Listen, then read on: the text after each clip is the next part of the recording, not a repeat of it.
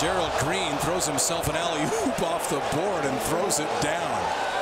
He left his feet and just threw it off the glass. What a play by Green. Yes. And the Phoenix bench comes alive as they've taken yeah. the lead. See, plays like that really help you. Blazers not getting a lot of quality looks here last few possessions.